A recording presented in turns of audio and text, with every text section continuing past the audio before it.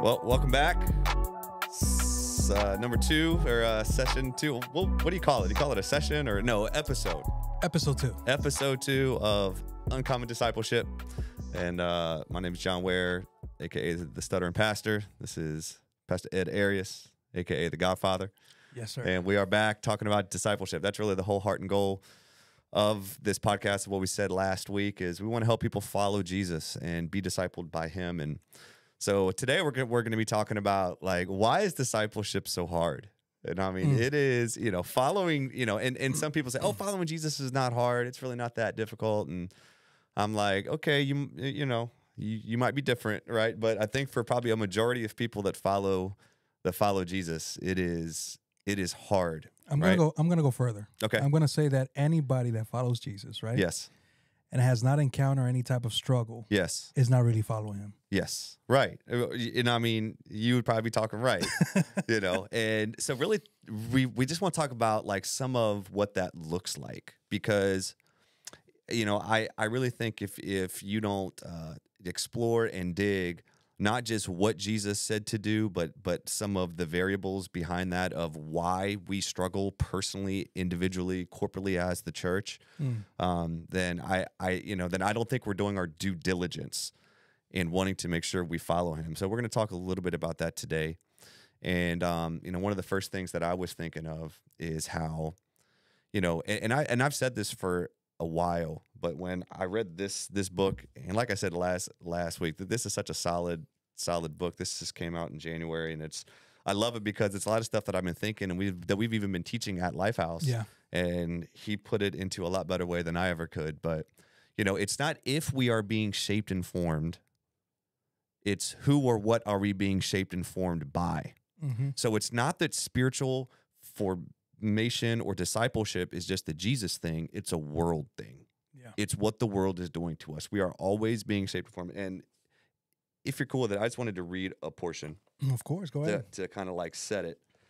Um, this is what it um, the John Mark Comer says. He said, "Spiritual formation happens to everyone, whether they are into it or not. Mother Teresa was a byproduct of spiritual formation. So was Hitler. Gandhi was spiritually formed, as was this dude I never heard of, Chairman Mao. Same with Michelle Obama, Lady Gaga, Br- Brene Brown, Vladimir Zelensky. Their spirits have been formed over a long period of time through a complex alchemy of genetic inheritance, family patterns, childhood wounds, education habits, um, uh, decisions, relationships, inner orientations, attitudes, environments, responses to said environments, and more. And then he says, spiritual formation is not optional. Every thought you think, emotion you let shape your behavior, every attitude you let rest in your body, every decision you make, every each word you speak, every relationship you enter into, the habits that make up your days, whether or not you have social media, how you respond to pain and suffering, how you handle failure or success, all these things and more are forming us into a particular shape. Stasis is not on the menu. We are either being transformed into the love and beauty of Jesus or malformed by the entropy of sin and death. We become either agents of God's healing and liberating grace or carriers of the sickness of the world. To believe otherwise is an illusion, and to give no thought to this is to become dangerously close to wasting your life. Wow. So, no, that was kind of deep starting off the podcast today, but I think it kind of does set, I mean, the complexity, the depth of what it means to truly follow Jesus. Like, it's, it, you know, because I think we always are like saved or not saved, hot or cold, right? We have these distinctions of following Jesus, and it's so much deeper and, and then then just kind of those kind of characterizations. So kind of just from all those thoughts, thoughts, man, what's kind of popping into your head? Man, I, I that was that was pretty deep. And Yeah. I think that. You know, and really, I think the reason why I said that is because I want us to know the depth and complexity and nuance that I think Jesus had in mind for when we said we we follow him. Heart, mind, soul, spirit. Like he, you know, it was holistic to him. Yeah. It wasn't just like, hey, just become a Christian. It's it's like you are actually inviting into your life. He wants to totally, totally give you the full treatment, like C.S. Lewis said, right? And one time or at some time, I'll read that quote by him. But Yeah, I mean, I, I think that the first thing that comes to mind is how long it's going to take. come on, man. Because when, you know, Come it's on. not something that's going to happen overnight. It's something that we have to be so intentional with, that we have to be so aware of ourselves Mm. and know like the things that have discipled us already. You know, the things that that has shaped us already. And I think that's what comes to mind and getting rid of all those things, Or becoming aware. becoming aware is the Self first thing. awareness is key. is key. It, and a lot of what's formed us is unconscious. Yeah. Like we're not even aware. Yeah. Like even living in the United States, Being, how how that has shaped us. I Your mean, family formation, right? Yeah, sorry. it's it's it's it's just it's it's huge. It's so much, you know. And I think that that th- Mm. that is the the key thing. And we were we were talking um, off the camera how you know it's it's all about getting to receive the word of God, Mm. but also as a church, are we creating an environment for people to actually grow Mm, and and face these things? right. A You know, safe, like a safe A enough safe environment. place, yes. and even in the preaching, the teaching, and the thing like, are we even helping them become aware of what they're even unconscious of Because that, that has influenced them to be and do one certain things? one of the biggest things I've seen growing up in church was was how shame was casted from the altar. Mm. You know, you weren't really taught that this is a journey. You weren't Mm. really taught that this is something that's going to take time. You know, yes, there are some some miraculous things that happen where somebody is maybe transformed out of maybe an addiction or Mm. maybe but but when it comes to shaping yourself to be like Christ, there's nothing that says in the Bible that it's going to happen overnight. It's a process. Mm. So why do we expect from the people that are in church to actually just overnight be different? Mm. And I think that as a church, we might not be creating an environment where people feel safe in Mm. order to grow, in order to get to know who they are, in order to actually go into God's presence and say, you know what, Lord, through the Bible, you Mm. know, and, and seeing really what what how they need to die to themselves. Mm. And as a church, having the grace to actually understand that just because somebody else's sin or somebody else's struggle looks different than ours, Mm. it doesn't mean that we're not all struggling. Yeah. You know? And I, you know, that word safe. So I, re- I remember we were doing a series on church and I put out there, like, what are some things you think the church could be? Or, you know, I mean, I, and, and I just remember the one word that kept on coming was safe. And now, look, I, I know this generation, this generation is characterized as being softer, right? And, you know, which there might be some truth to that. But I think the generation before us was really hard, was harder, meaning they would not let Jesus into their emotions. Mm. Now I think because of that, we have a generation that's gone to the completely other side where now they're dominated by their emotions and by what they feel. So I think when people responded by saying, you know, church should, you know, the the way that that, you know, one of the things I think the church needs to work on is becoming safe, I would agree with that, right? But safe doesn't always mean um you're not challenged Mm. right? Yeah. Safe does does not always like to me a safe church is where you don't matter where you are, who you are, you walk in and the first filter we see people through is image of God. Yeah.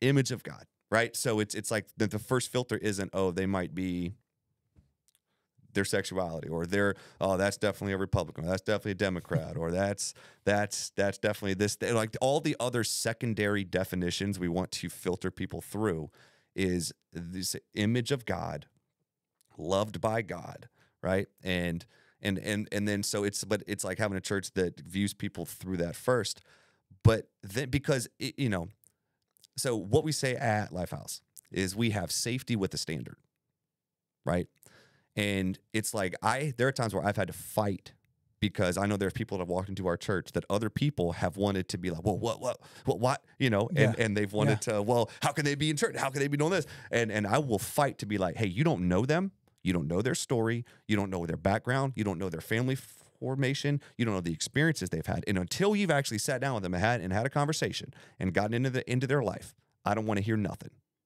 okay Yeah. Yeah. because I'm going to fight to make the church a safe place. Yet there's been conversations where I'm like, hey, you know what? Uh, theo- theologically, script scripturally, this is where we this is where we stand.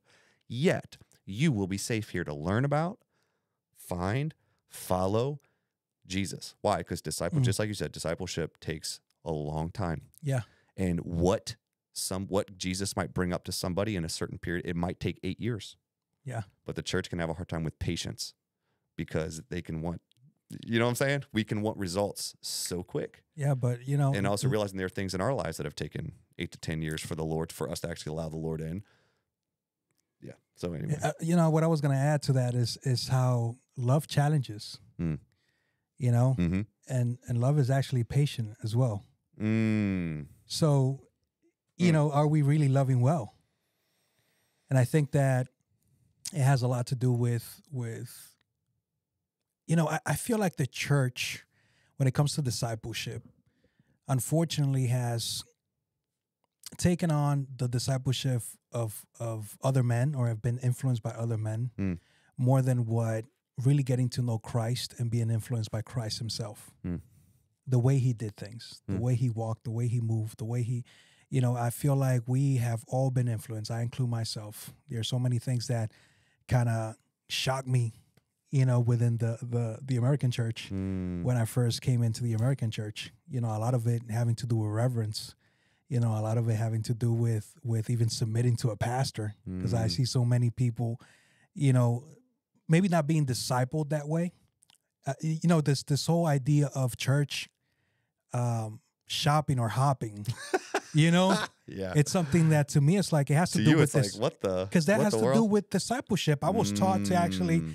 if God wanted me somewhere, you know, even if You if would invite Jesus, you'd invite Yeah. God into your Yeah. church choice. yes, because It that's wouldn't what be I was like, who's the best worship? Who's the best preacher? Who does the best outreach? Who, like, you know, you would be like, no, God, I want to invite you into this. you know, even if it didn't have a, a, a kids program, right?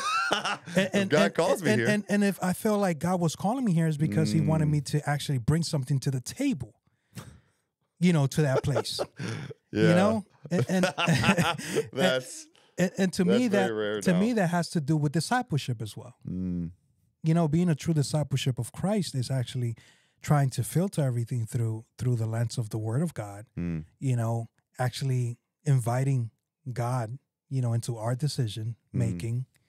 And I feel like that is lacking. That's the reason why we have churches that might be too strict or too strong Mm. and and and they don't have the balance because Christ was somebody that called, you know, Peter, you know, it- he called him I rebuke you, right? I rebuke you devil.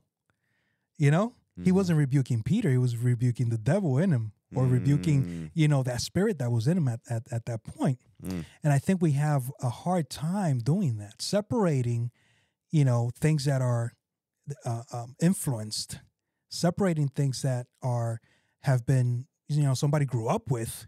It- it- mm. we have a hard time separating that from the person. It's really good. You know, be, because that means you aren't just seeing like what they're doing. You're seeing the variables that have contributed to why they're doing what they're doing. yes, And instead of saying that's a spirit, you know, it could it could just be man, like they grew up with this in their home. It's like it it takes discernment and wisdom and relationship in order for there to be like so know? you know, going back to to the main points here, Yeah. like what are the things that are keeping the church yeah from true discipleship? Yeah.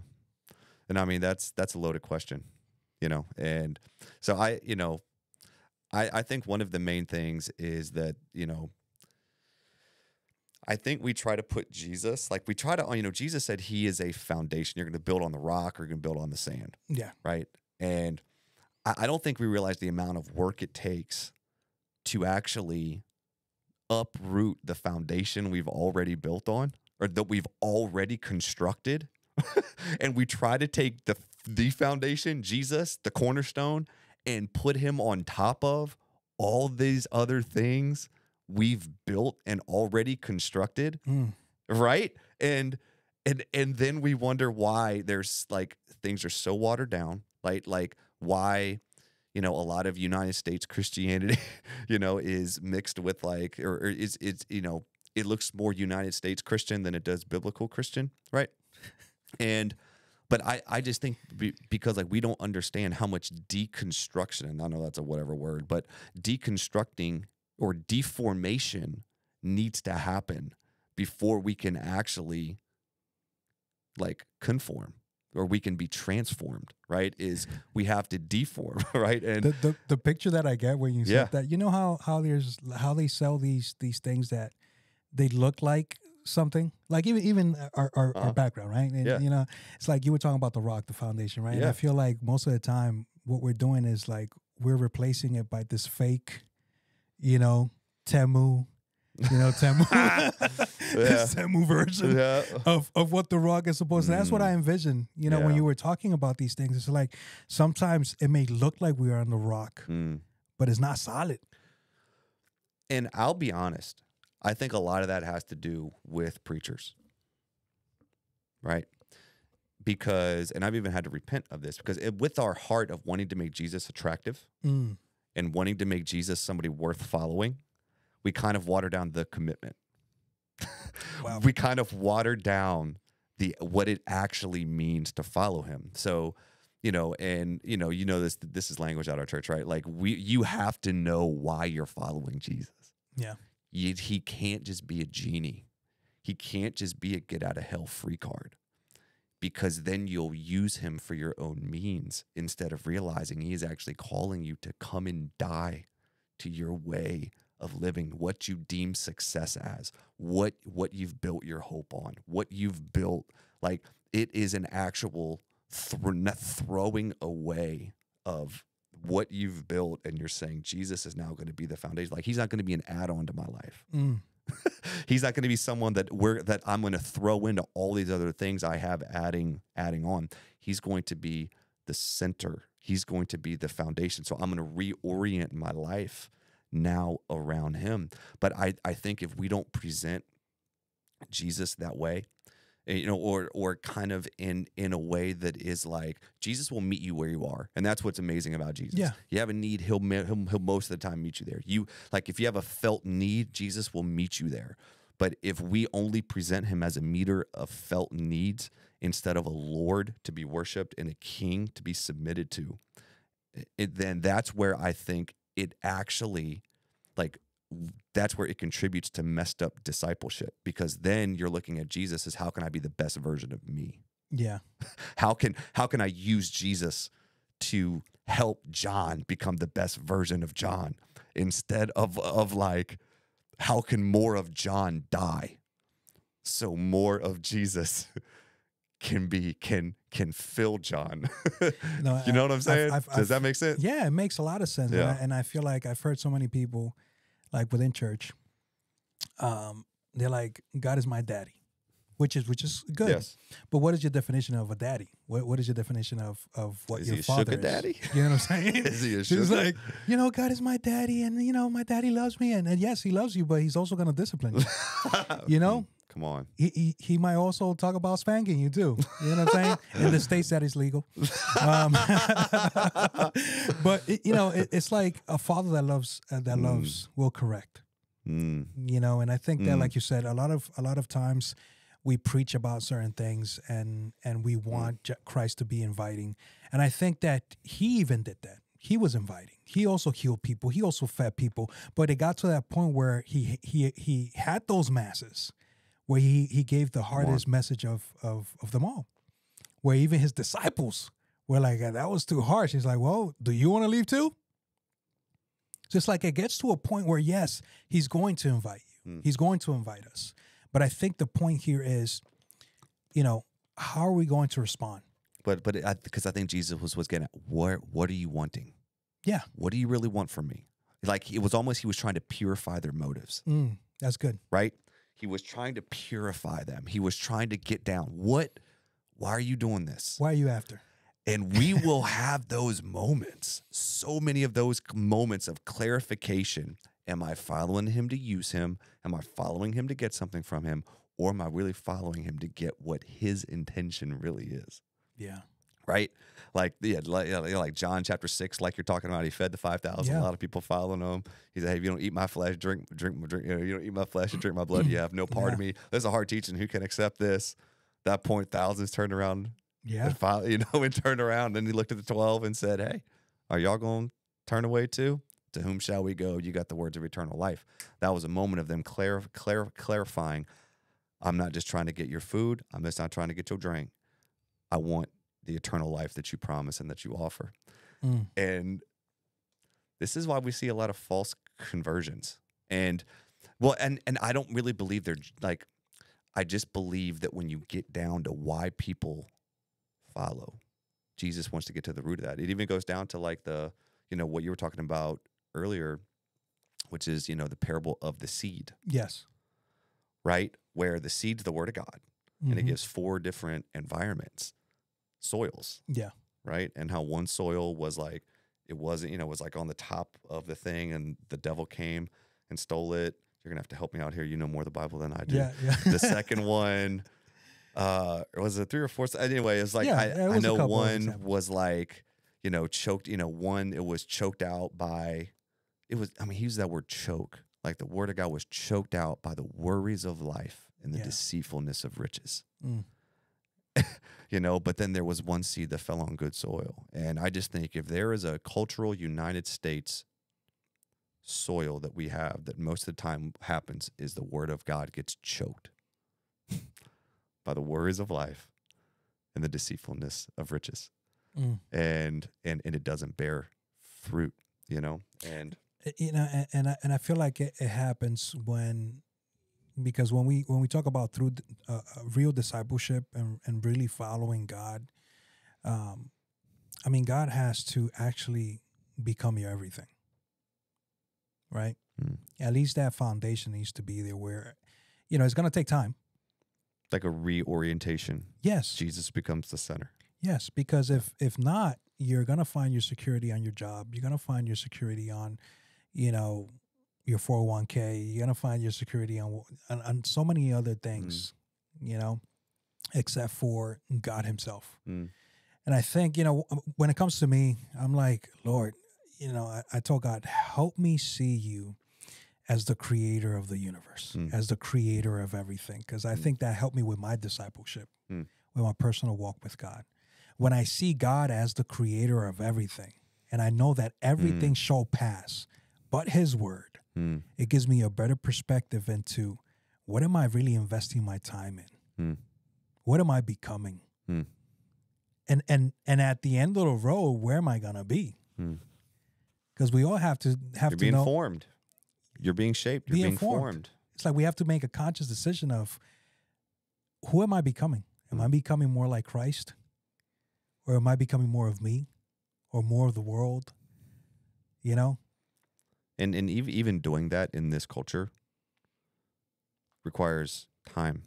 It requires Yes. time in god. It requ- requires time in god's presence. It requires self-reflection like honest self-reflection for you to really take inventory and to allow the holy spirit to say to put his finger on some things right? You know i heard mark mark batterson say like many people want the holy spirit's com- comfort want the holy spirit's direction right? They want all of these benefits from the Holy Spirit, but no one wants the Holy Spirit's conviction. Mm. And he said you can't have you can't have one without the other. You can't want his comfort without also his conviction, right? And I just think we kind of plug our ears, right? And you know, Yeah. um, to those things that maybe we might not want to see, you know, and um, but you know, as you were talking, I started thinking about the difference between the Paul that Paul makes. He talks about the difference between godly sorrow and worldly sorrow, right? Of of kind of how that moment where we're making a decision to follow Jesus, and I think what you see in the church many times is that it's a worldly sorrow, because what Paul says is that godly sorrow leads to repentance mm. worldly sorrow is kind of that feeling of like I feel bad for what I've done, but it's not going to actually lead to change. Godly sorrow is like I understand I have sinned against creator. I have sinned against transcendence. I have sinned against somebody so beyond me. And so my response is going to be a turning, a repentance, right? And even that Mm. word repent, you know, we talk a lot. We'll, we'll probably Yeah. have a whole session on repentance yes, because such a powerful word because like repentance is, isn't just feeling bad it's rethinking Mm-hmm. rethinking everything right? It's it's it's and you just think of the implications of that in discipleship where so you're rethinking every area of your life according to what jesus and his word has to say about it. So you're inviting him into your sexuality. You are inviting into him into your finances. You're inviting him into your emotions. And you're asking him say like i'm going to rethink take out the foundation that I've built or that the world has told me to have, and I'm going to rebuild it on what Jesus and his word says. You know. That's good. That's Yeah. good. And you know, one of the things that I, I want to bring up is, you know, at a church we say we're not, we're not Mm. trying, we're training. You know, There's a lot of people that have used that, and I think the original maker of that was either Dallas Willard. I think it was Dallas Willard. Jesus uh, was the original maker. well, right, but I'm talking about in the kind of the kind of how it's kind of just like taken, you know, taken forms, you know. But it's it's it yeah, it's the whole idea of trying and, and trying over train or training over trying.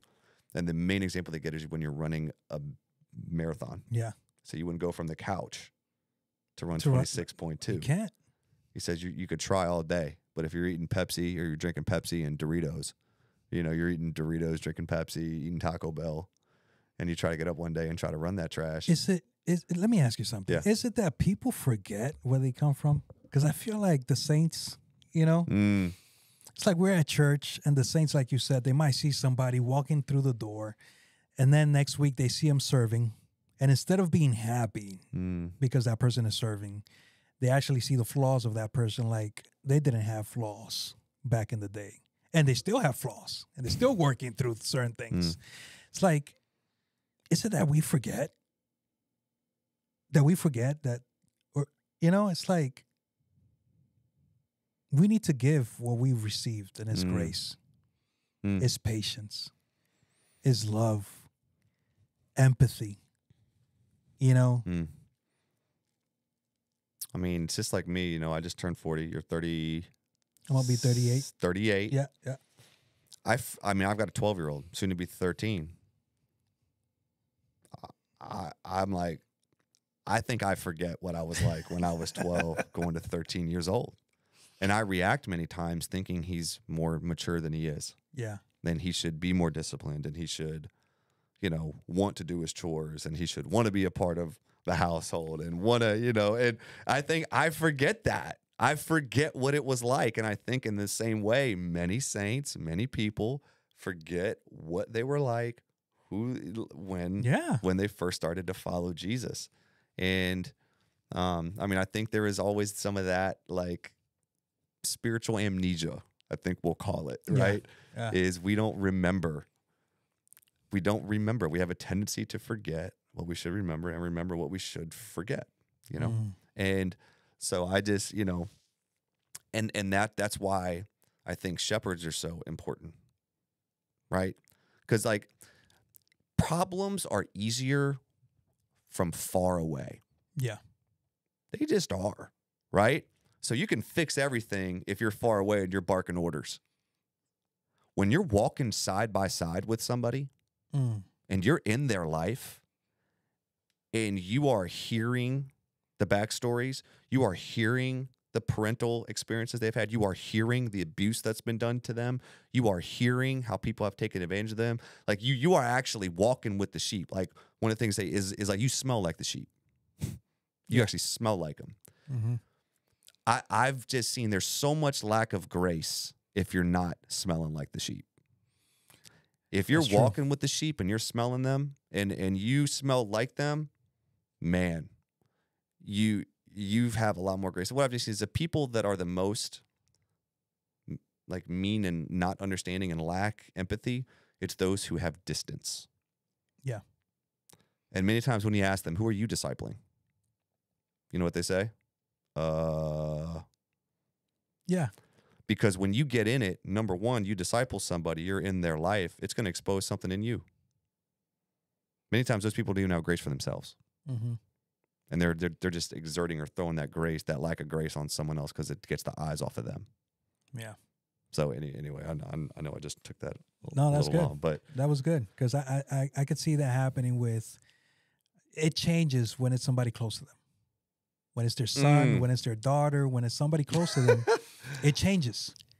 Mm. You know, Mhm. oh, give them a chance. You know, they they, they want to serve, but that might be the only thing that's keeping them here at church right now. mm, You know, let them serve, or Mm. or if they're in a in a in a within sin and they Mm. worship, no, but let them worship because that's the only thing that's getting them to through this season. It's Mm. like it's different when it's close to home.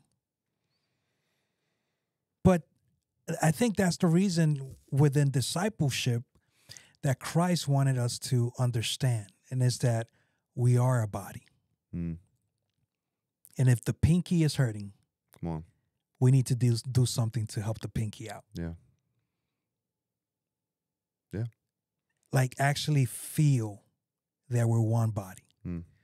Feel that we're that we're one. Hmm. That's what he says that, that they they shall know that that they are my church. They should know that they are when they are one, just as me and you, the Father, are one. Mm, You know. Yeah. So it's like true. And he's the chief shepherd. I mean, he calls himself the chief shepherd. yes, The chief shepherd smells like his sheep. Yeah. That's what he got bashed for. Man, this dude hangs with sinners. Did not sin. So, and y'all coming at me. It's it's it's, it's like he was the influencer. He was the one being influenced.